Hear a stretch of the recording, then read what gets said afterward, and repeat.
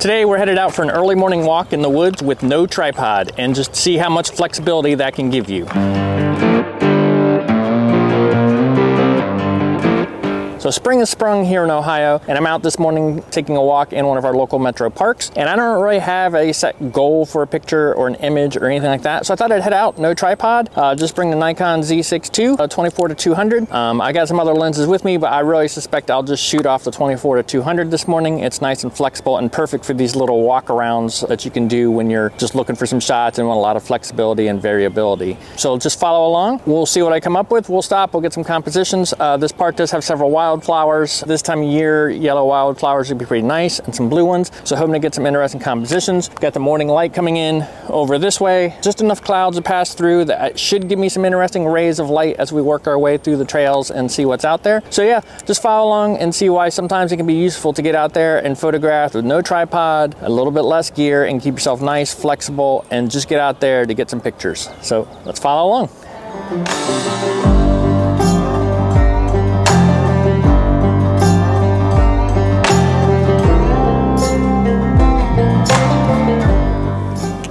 So I've stopped here. This is a little spot. There's a little drainage through here that runs through the woods. Not quite as many yellow flowers as I would like, but I've got this tree that's fallen across the trail and this drainage. Light keeps coming out and playing nicely. So we're just gonna work on a composition here, see what I can get. Probably zoom in fair amount. I do still use the histogram, even without a tripod, it is still a guide and just sort of work through the compositions. There's several trees in line, so it's sort of like figuring out which ones should be in frame, which ones shouldn't.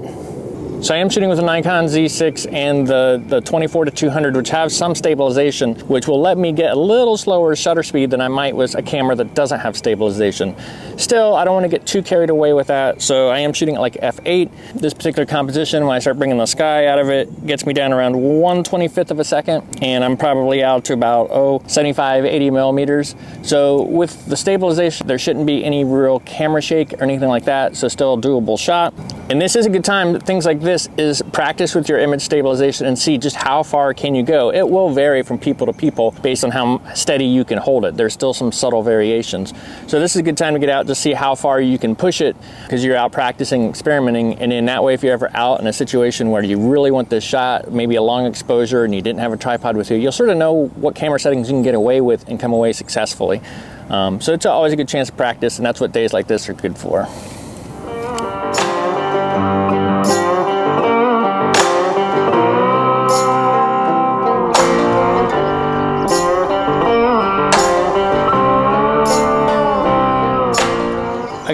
A part of the trail where it's got all these blue flowers lining it. A little bit of a curve in the trail.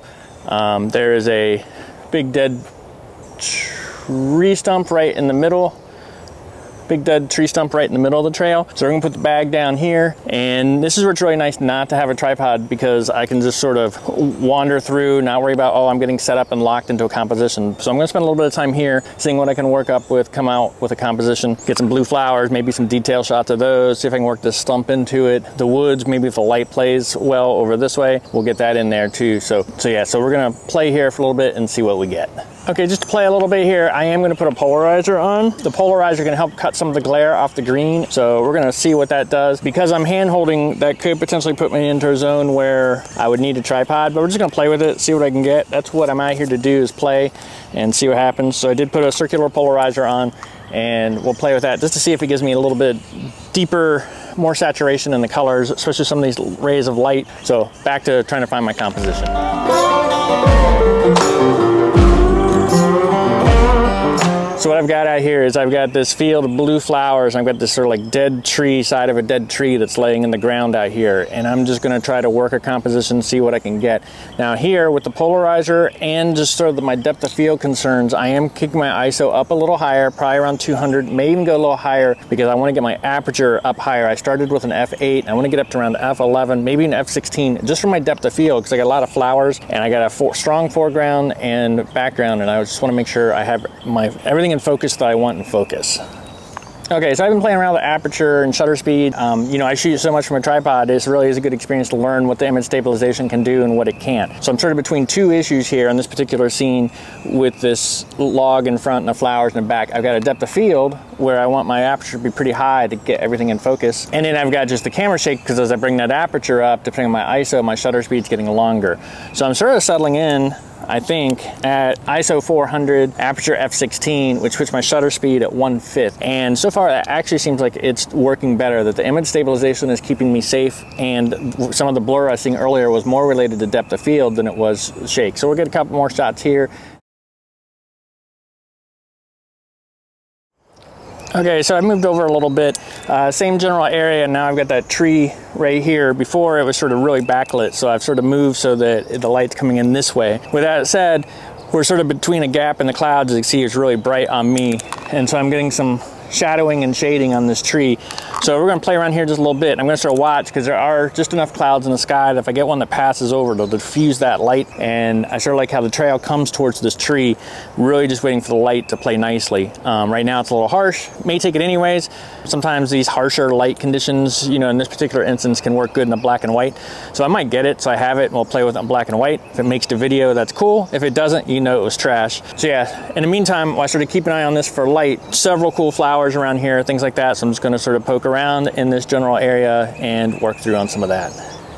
Okay, so I hung around here a little bit. Like I said, we tried to get the, the stump here. As you can see, even from this, the light's very harsh and contrasty. I got a few shots. The light's really not improving right here because the sun's coming from like right up here, shining straight down the trail to it. So while I waited a little bit though, I did find these fallen trees with these mushrooms and fungi on the side of it. So I should have played a little bit with that. I do think I got an interesting shot out of that. So we played there and took one more look obviously at this tree and it's not really, like I said, the light's just not really cooperating right now with it. So, and that sometimes happens and that's fine. I did get some, we'll see if they look okay in black and white and go from there. Uh, so yeah, we're gonna load up, move down the trail a little bit more. Just keep an eye on what we see as we go.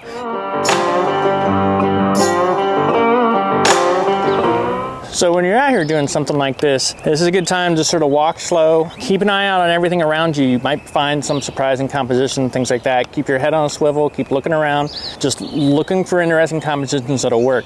The light's getting a little stronger, some of the clouds have floated off, which I wasn't necessarily anticipating, but there's bound to still be something cool and interesting here. So just keep that in mind as you're out doing this. That's some of the flexibility of no tripod. You can just really look around and find some interesting stuff. Okay, so as I'm walking along, we just have these great fields of blue flowers through here. Um, I'm trying to look for a broader, wide composition with this.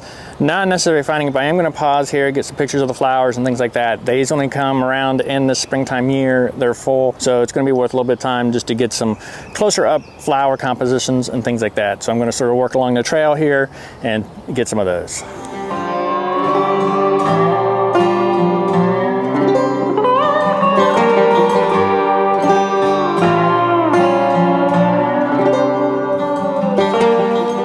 Okay, we got some pictures of the flowers. Moving on, I'm going to make my way a little bit deeper into the woods. Right now I'm right along this river, which the sun is coming in through. So I want to get back in just a little bit deeper, see what kind of compositions I can come up with there, and then we'll probably about wrap this up. Okay, I ended up stopping real quick for some coffee down here by the, the river as I headed on. And as I was down here, I noticed there's this tree over here with some super cool textures and stuff on it. And one of the things I like to do when I am out and about without a tripod is some of the texture, some of those more intimate compositions are what I'm sort of looking for because I, I feel like I have a better eye for them when I'm not thinking I have to set up a tripod and all that gear. We're gonna go ahead and we're gonna set up, get a few pictures of this, and we'll see how those turn out.